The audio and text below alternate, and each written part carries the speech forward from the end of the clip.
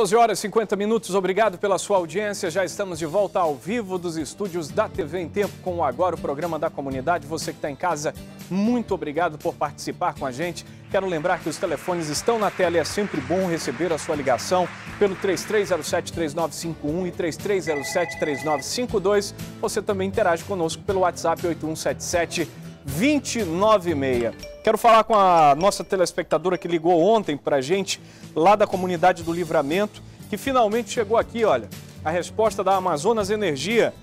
Amazonas Energia que está dizendo aqui que na comunidade do Livramento não recebeu, lá da comunidade do Livramento, não recebeu nenhuma reclamação por conta das constantes quedas de energia elétrica e por conta disso não mandou nenhuma equipe para lá.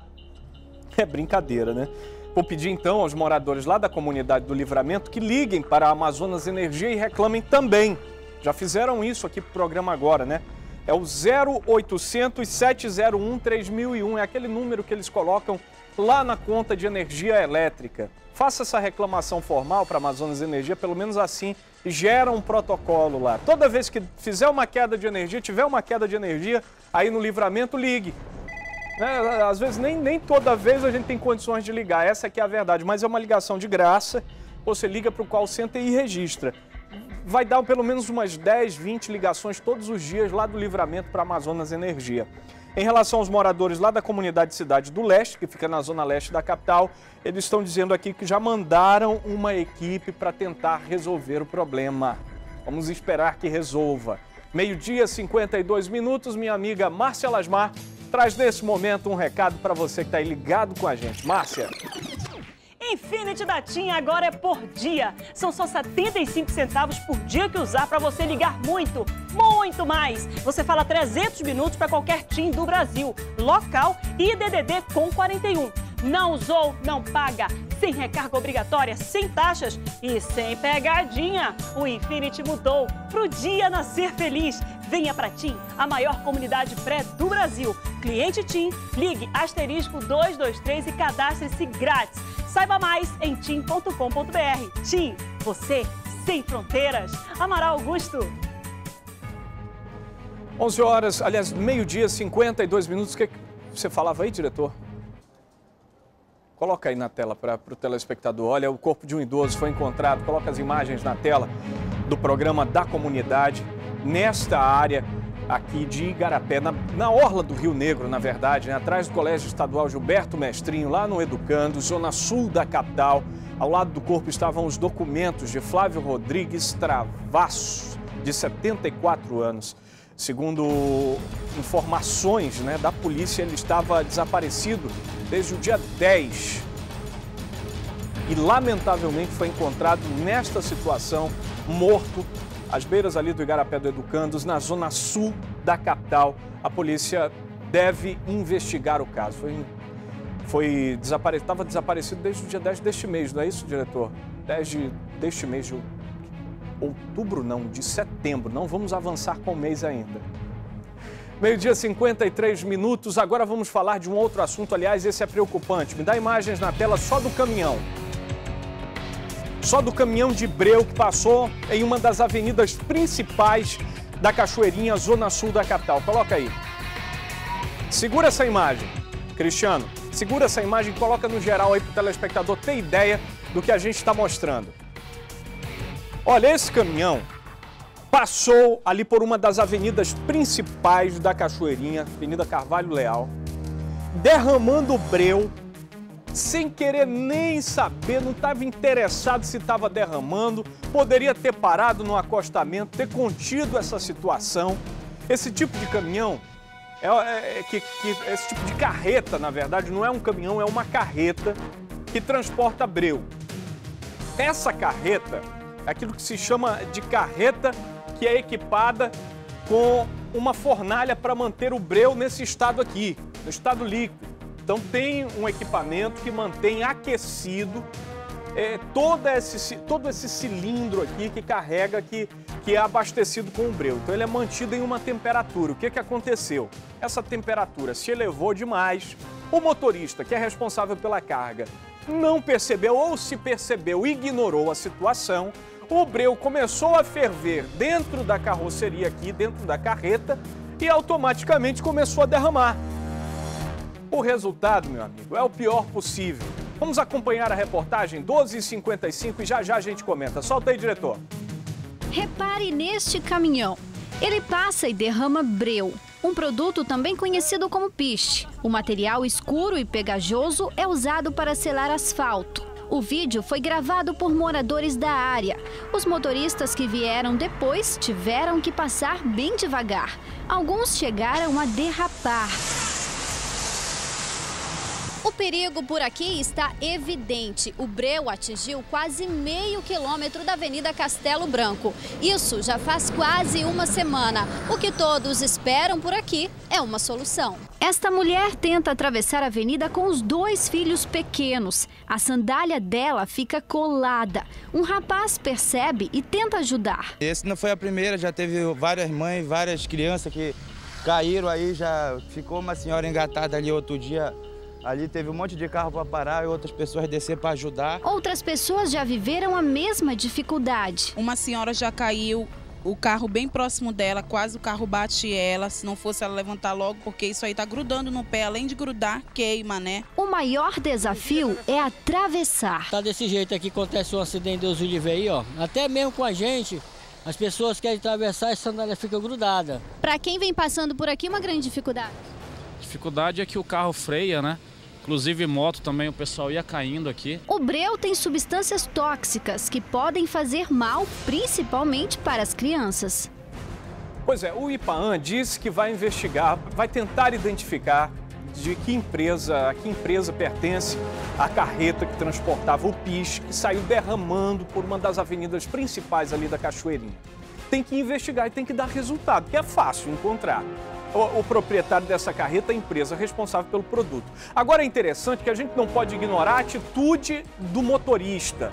O motorista simplesmente fez vista grossa para o problema. Superaqueceu o piche, começou a ferver dentro da carreta e começou a derramar. Mostra aquela imagem lá do início, Cristiano, que dá para perceber muito bem, olha, vai soltando aqui.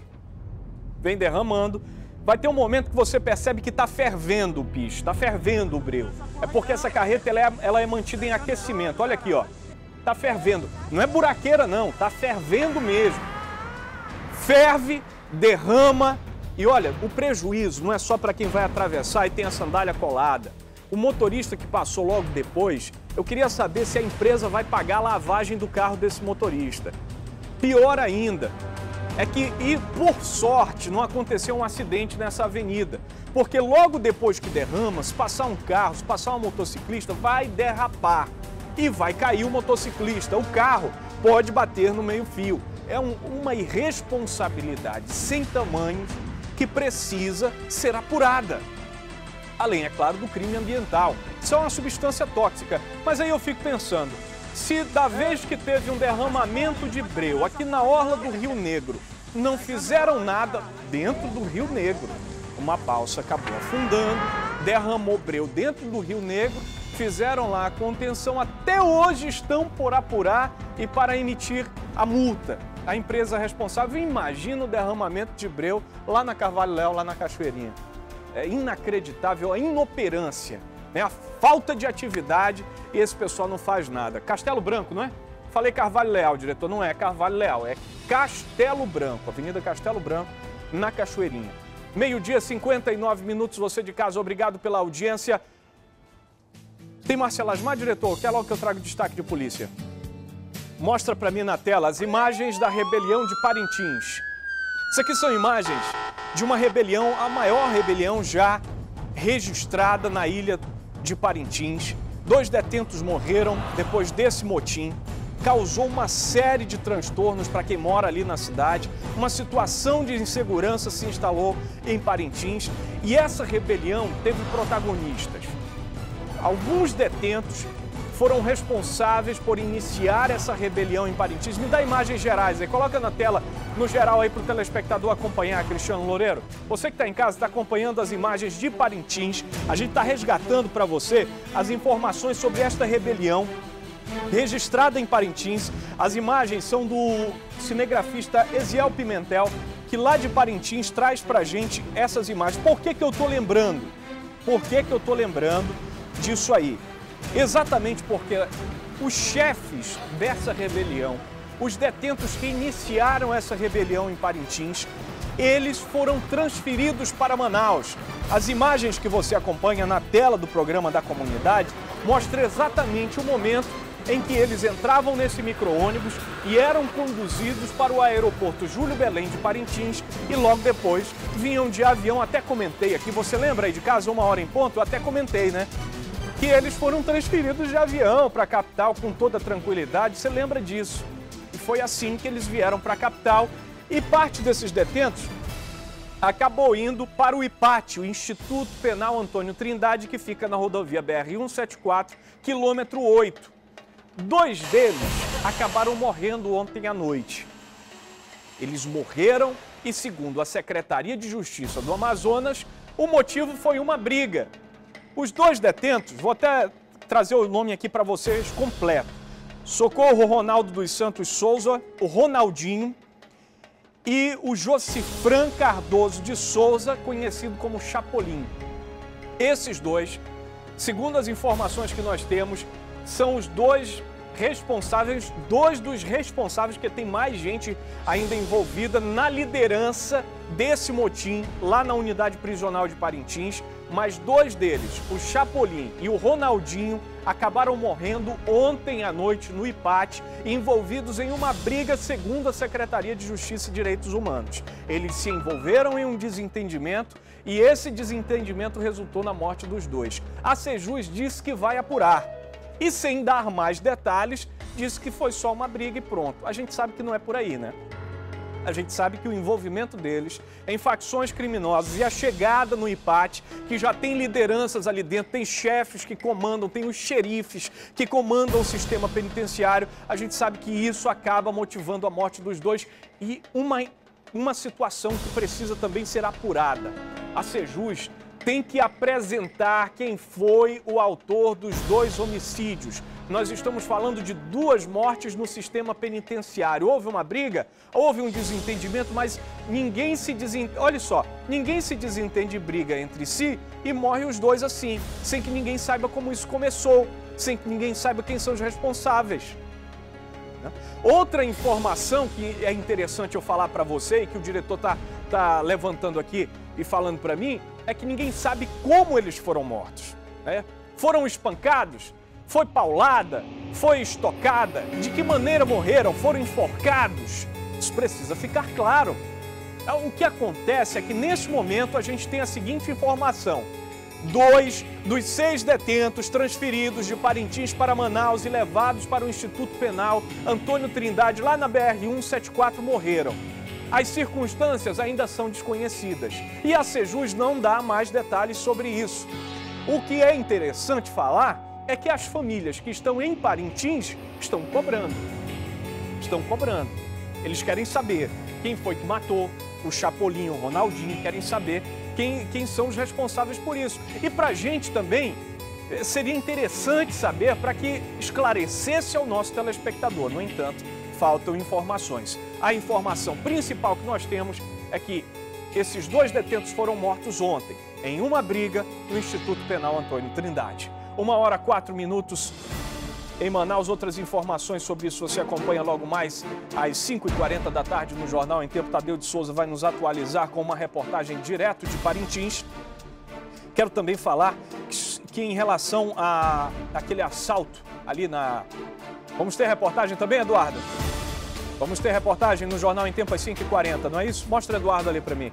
Fechando esta edição do Jornal em Tempo, 5h40 da tarde, Jornal em Tempo. Eduardo, vamos ter os detalhes sobre esses dois detentos de Parintins com Tadeu de Souza, não é isso? Tadeu, ouviu as famílias? Ouviu uma família, não é isso?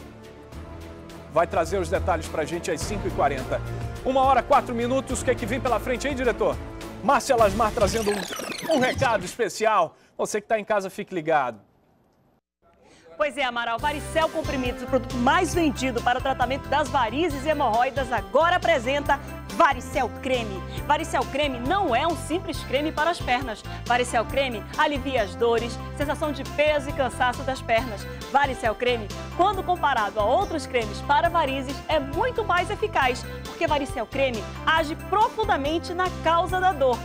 Já varicel comprimidos age de dentro para fora, combatendo os sintomas das varizes, melhorando a circulação e diminuindo o inchaço das pernas. Agora, com varicel comprimidos e varicel creme, você tem um tratamento completo contra as varizes. E não esqueça, varicel comprimidos também é indicado para o tratamento dos desconfortos provocados pelas hemorroidas. Você encontra varicel creme e varicel comprimidos em todas as farmácias do Brasil e a preços promocionais na rede de farmácias Angélica e Farmabem. Eu disse farmácias Angélica e Farmabem. Varicel tem a garantia de qualidade de Vicom Farma. Amaral. Uma hora, seis minutos. Daqui a pouco o programa da comunidade volta trazendo informações sobre uma paralisação de trabalhadores terceirizados da Petrobras. Isso pode ter impacto, inclusive, no abastecimento. Observe só as imagens aqui. São imagens lá da Transpetro, que é a responsável pelo transporte de combustível. E daqui a pouco, depois do intervalo, nós vamos trazer os motivos desse protesto e paralisação. Uma e seis, a gente volta já.